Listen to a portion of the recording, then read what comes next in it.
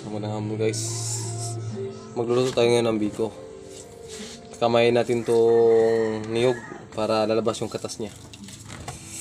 Ah.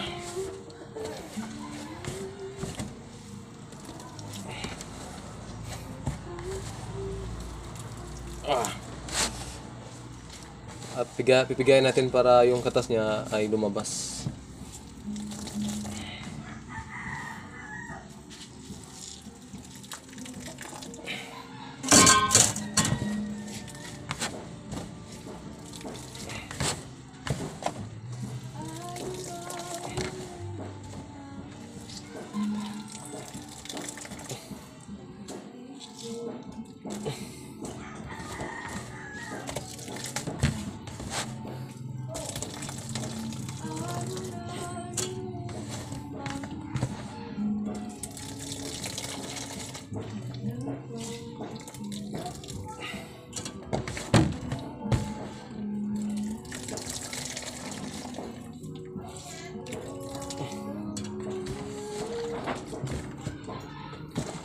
Ah, shout out pala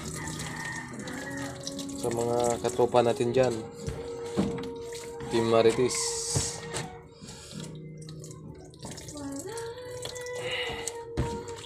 Sa mga friends and relatives and enemies.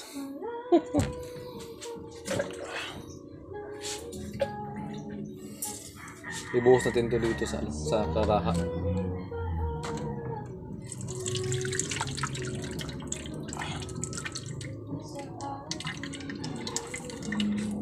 Tapos, ito naman.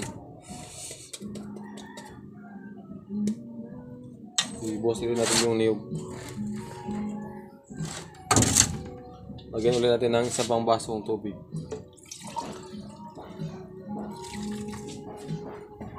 Para yung katas talaga niya maka, ano, makalabas.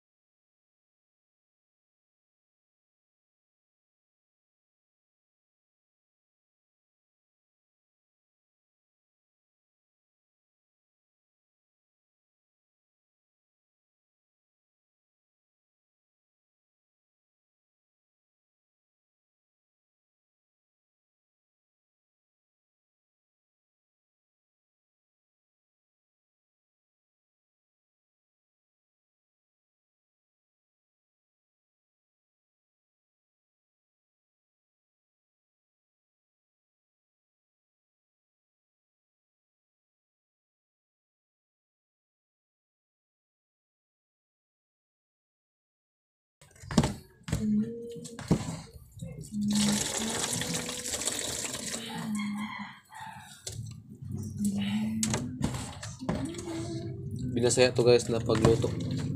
Na pagpiga ng niyog.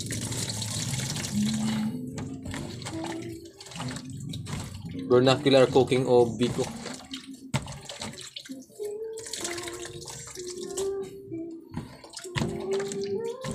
Ano bang Tagalog sa biko? Parang suman yata to guys sa ano, yung malagkit na palay. Malagkit na palay pala yun.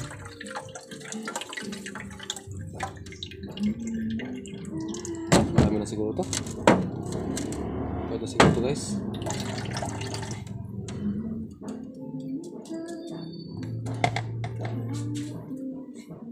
Tapos niyan, mag, mag ano na tayo.